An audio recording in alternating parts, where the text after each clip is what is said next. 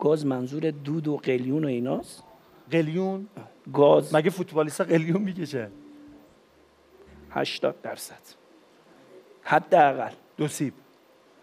دو سیب یکم سنگینه به نظر. آدم سارچین؟ یکم تنده.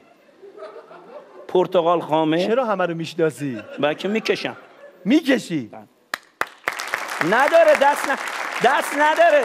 نه به اعترافش دست زدیم نه به کشیدنش. کشیدنش که خوب نیست. ببینید آقای آهنگی من فکر می‌کنم که هیچی بهتر از صداقت نیست. مردم خیلی خوب می‌فهمن صداقت رو و اینی که من وقتی قلیون می‌کشم بخوام بگم نمی‌کشم این چیز خوبی نیست. حالا شاید یه تعداد معدودی با این قضیه مخالف باشن که آقا چرا روبروی دوربین میگی اینو. میگیم؟ ولی واقعیت دیگه. شما بعد فوتبالت قلیون رو شروع موقعی که اون- اونجوری تو زمین ماشاءالله 16 میدویدی ساله چیزم 16 سال شروع کردی. من 16 سال. تازه شروع کرد. تازه است.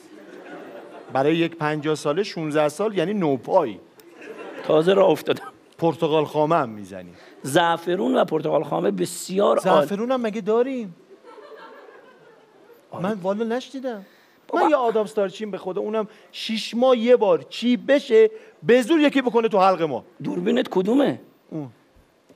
شیش ماه یه بار می‌زنی؟ سه ماه. الان دودش بخوره اینجا.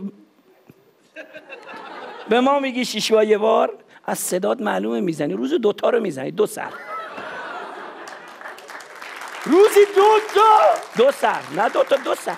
آها دو سر. دو سر. چی شد؟ زدم رو میکروفون خدایی نه. روزی یه سر. اصلا روزی نه. یه روز در میون.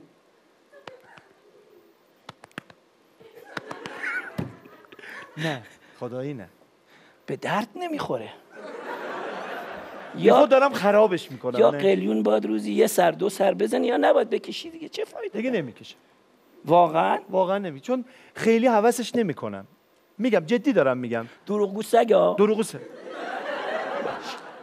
اوکی.